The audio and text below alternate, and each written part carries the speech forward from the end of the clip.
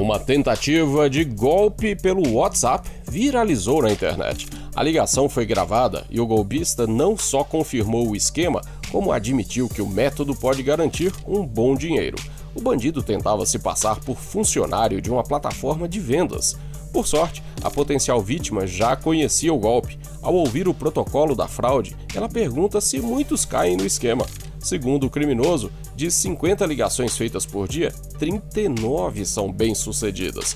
E o golpista ainda diz que o método pode garantir 20 mil reais em duas semanas.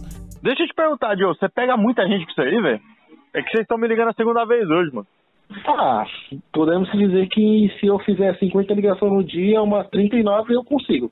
Para dar início ao crime, o criminoso precisa do número de celular da vítima. Geralmente, ele aborda usuários de sites de anúncios como o Mercado Livre, o LX e outros. Com o número do telefone em mãos, o golpista entra em contato com a vítima e se passa por um funcionário do site. Ele informa que há um problema no cadastro e que, para prosseguir, vai enviar um código de confirmação via SMS.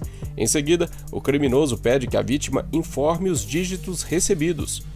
Se o código for informado, o criminoso clona o WhatsApp da vítima e passa a enviar mensagens para sua lista de contatos pedindo dinheiro. 3 mil em dois dias tá bom, não tá não? Imagina 20 mil em duas semanas. Para saber mais sobre esse golpe, acesse olhardigital.com.br e proteja-se.